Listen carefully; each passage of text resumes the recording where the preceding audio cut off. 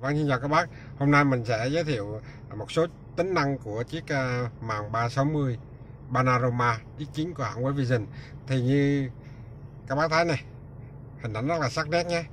Thì cái hình ở giữa có chiếc xe ô tô này, đây là hình mô phỏng 360 nha các bác. Và phía bên phải các bác này có vạch vàng này. Và các bác thấy bánh xe thấy rất là rõ nhé. Từng cọng cỏ này cũng thấy này. À, đây là góc bên phải này, bên phải xe nhé.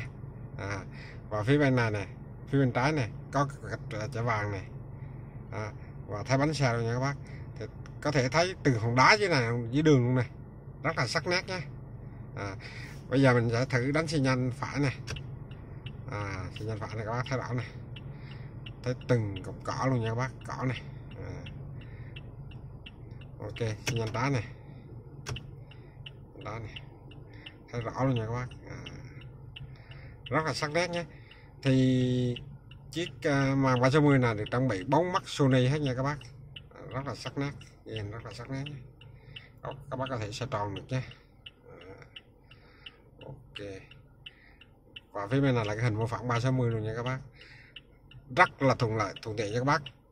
Khi các bác đổ xe vào lề và khi các bác di chuyển thì các bác có thể nhìn thấy được xung quanh có vật cản gì không nha. Nhất là trẻ em trẻ em hay bị những cái góc khuất này nếu các bác xe bác, không có 360 thì những cái khúc này nếu mà có trẻ em nó vô tình nó đi vào đây thì các bác không thể biết được.